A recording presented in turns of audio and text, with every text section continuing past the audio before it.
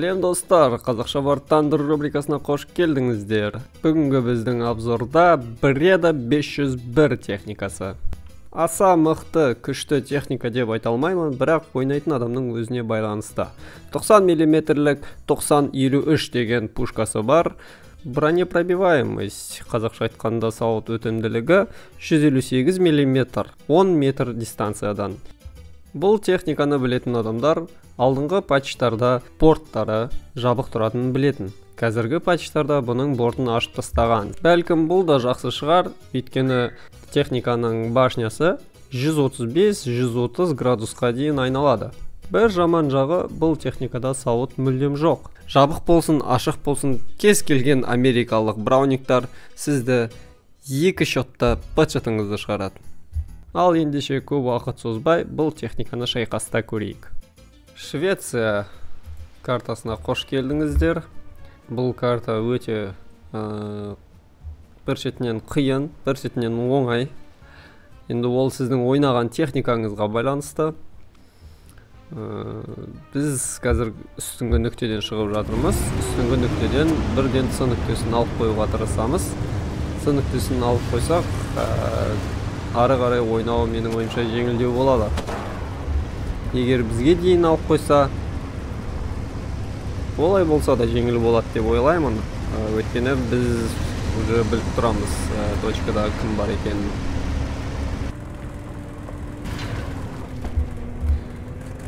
Сіздерге жаңа айтқанымдай борттардың түсіріп қойғандығының мысалыға бір қиындығы осы. Ә, сіздер кез келген үйдің бұрышына болмай қалған столбтарға ә, бетоннан жасалынған кез келген бір құрылыстарға соғысып ілініп қалсаңыз болды. Ә, келе жатқан өзіңіздің жылдамдығыңызды бірден жоғалтасыз. Және де бұл борттар сынып қалса немесе бір жұлынып түсіп қалса мейлі ғой. Жоқ жұлынбайды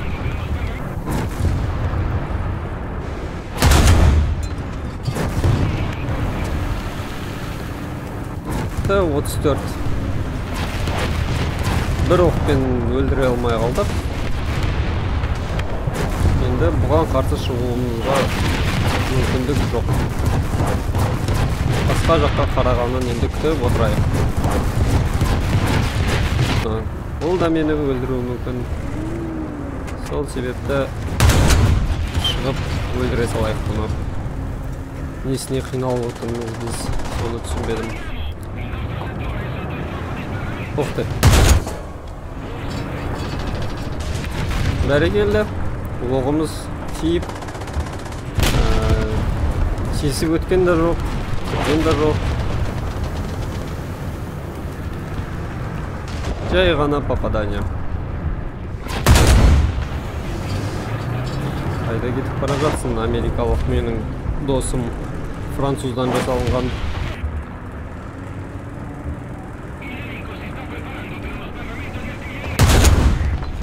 қайда келе жатсың досым? Асықпасаңшы. Жан жағыңа қара. Бәлкім біреу бар шығар бәлкім жоқ шығар. Енді бізді қазір қарсылас команданың ұшақтары быт шытымызды шығарайын деп жатыр.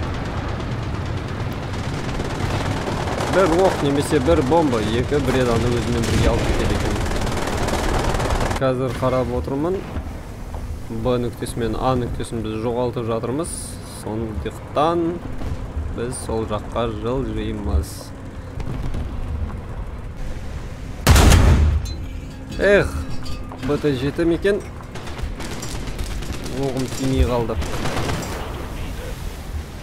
бтр 152 ә, бұл кім екен? Мен бұл баланы өлтірдім ау деймін. Мені іздеп келгеніне қарағанда. Мені ғана күтіп тұрған секілді болды. В наглую бізге қарай келе жатыр. Тым қорқынышы жоқ. Енді қайтесің енді советтер ғой. Дым ұялмайды ұяттары жоқ.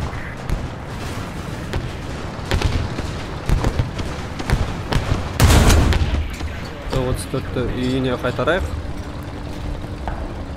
Ал бізге қарай келе жатқандарды күтіп алайық.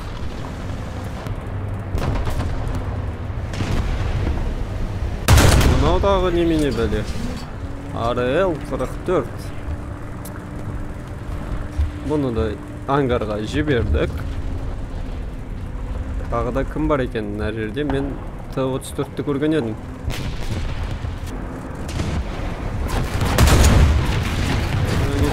Тұрма бұл жерде? Бұл жерде тұруға болмайды.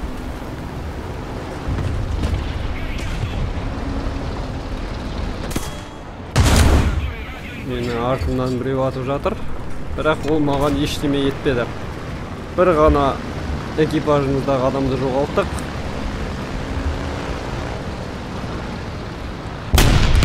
Ол бізге түк те емес.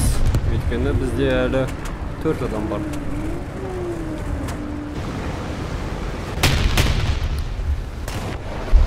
Өздеріңіз көрдіңіздер. Қарсылас командада ұшақ болса бізге ойнауға ә, дым мағына жоқ. Менің ойымша маздок бұл танкіге өте қолайлы болып келеді. Өйткені менде стратегиялық план бар.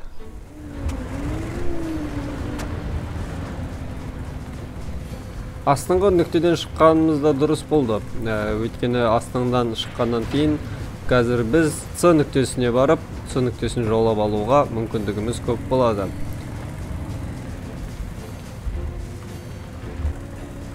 Менің ойымша бүкіл совет одағының танкілері с нүктесіне барып тұрып алған секілді.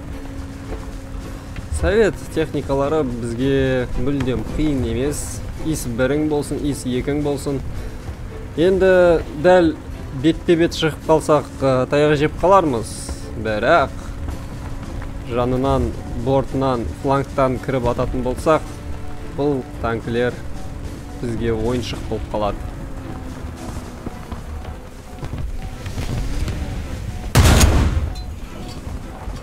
Минус бір келесі кезекте т 34 совет танкісі тұр бізде. Сөйтсем ол танкі өліп қалған танк екен.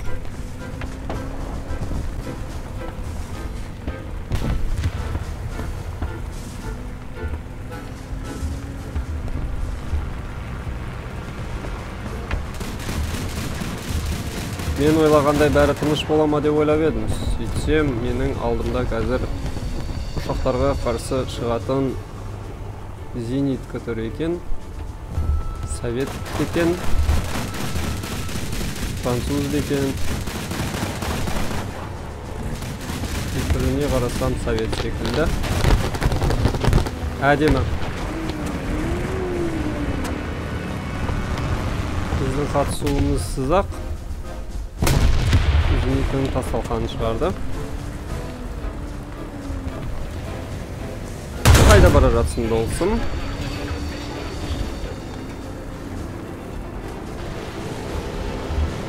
т отыз төрт танкісі с нүктесінде тұр екен ап бәрекелді one shot деп айтады бұндай нәрселерді қазақшалап бір оқпен ақ айырып жібердік так. С нүктесінде кв екі деген танк тұр екен. Бірақ мен өкінішке орай бұл танкіні тисе алмай қалдым. Екінші оқтан смело айырып тастағансың ғой так. Келесі кезекте тағы да т отыз төрт моторын өте жерді. Ал біз оны технично красавать етіп кеттік. Кім бар келесі? Ой ой ой су жүз елу екі емес шығар бұл танкі қорқынышты өте қорқынышты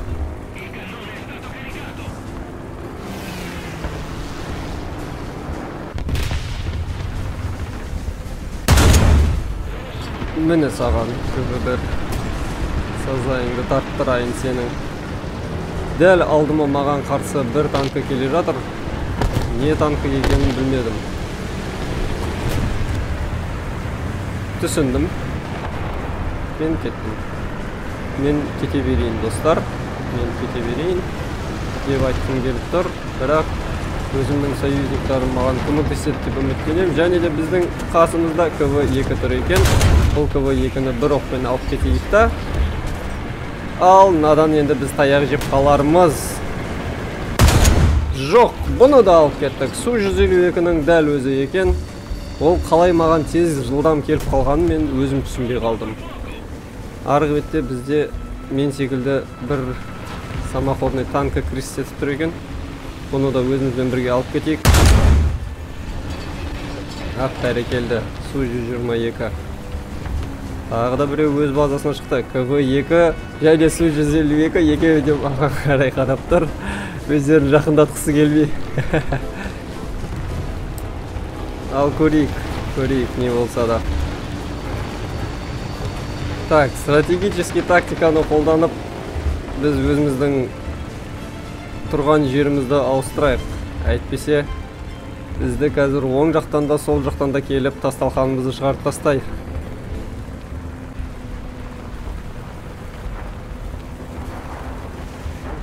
бәлкім шығара алмас. Дегенмен де орнымызды ауыстырып бұларға бетпе бет шықпауға тырысайық.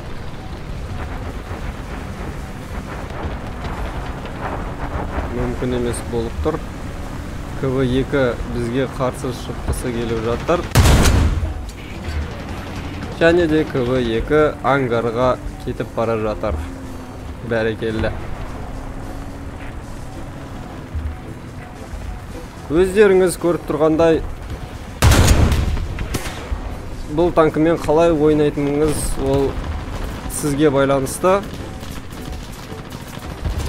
Ойнай алмайтын адам бірден жамандайды. Бірден жаман жағынан қарайды. Сондықтан да үйреніңіздер ойнаңыздар көбірек ойнаңыздар. Ә, бұл сіздерге егер сіз совет техникасымен ойнап үйреніп қалған адам болсаңыз мен сізге бірден айтарым ә, советтердікіндей бетпе бет алға қарай жүгіріп кете алмассыз. Сізге өте қатты дайындық керек тығылып ойнау керек. Ветконгевецтар сияқты орманның арасында тығылып ойнауды үйрену керек. 5 секунд ремонттамыз дейді. 5 секундта үлгереді ме екенбіз біз ремонтталып бізге ешкім көмектеспейді. 11 танкіні жардық. 11 танкі. 3000 очко. Үш мың ұпай жинадық.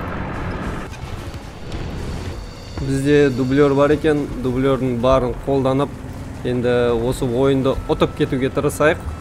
Мен өзімнің қолымнан келген нәрсенің барлығын істедім. Ал біздің союзниктар болса әлі бұны да жаулай алмай жатыр.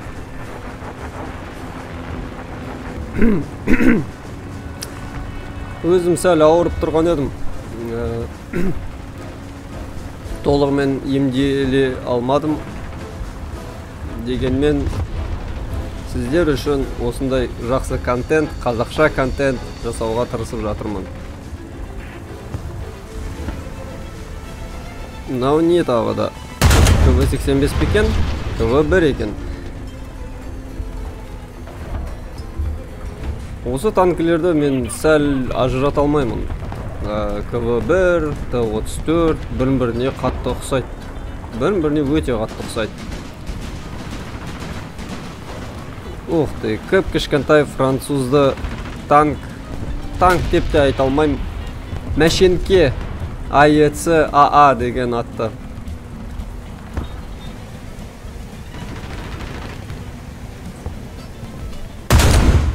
Қап сәл сәл үлгермей қалдым. Әрине бұның бәрі покет лосс бар екен. Покет лосстың арқасында бұндай қателіктер болып жатыр деп ойлап жатырмын өзім. Максималды түрде ақталып жатқаным ғой. Сіздерменен ойнай алмайды екенсің жаман ойыншы екенсің деп ойлап қалмасын деп. Жарайды енді мен түсінігім бойынша бұларда өте иә бұларда өте аз өте аз танкілер қалыпты. Бұлардың командасында ал біз осылай наглую бұлардың базасына басып кіре берейік. Алдымызда кв екі келе жатыр екен кв екіні де шешіп тастай салайық. Мінекей өздеріңіз көргендей. өзіме тым көп сеніп қойыппын. Бұл танкімен ойнаған кезде бір оқ ваншот болу керек. Өйткені сізде бір ғана мүмкіндігіңіз болады. Екінші мүмкіндік сізге берілмес ау.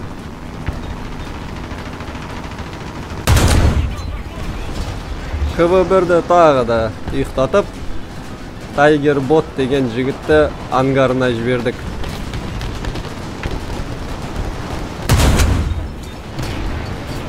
Т отыз төрт э оны да ұйықтаттық оны да ангарға жібердік. Татал менің ойымша бұл тым жеңіл ойын болды. Төрт жарым мың ұпай 16 танкіні жардық бір көмек. Және де бір мәрте өзіміз өлдік. Ал енді осы обзорымызды аяқтай отыра. Менің айтарым бреда ол осындай өзінің спецификалық түрі бар техника. ә, әр адам әр қалай ойнайды. Менің ойыным осындай. Бәлкім басқа біреу тығылмай қарсылас командаларға бетпе бет шығып тасталқанын нетер. Не болса да барлықтарыңызға сәттілік. Осы видеоны көргендеріңізге рахмет. Келесі кездескенше.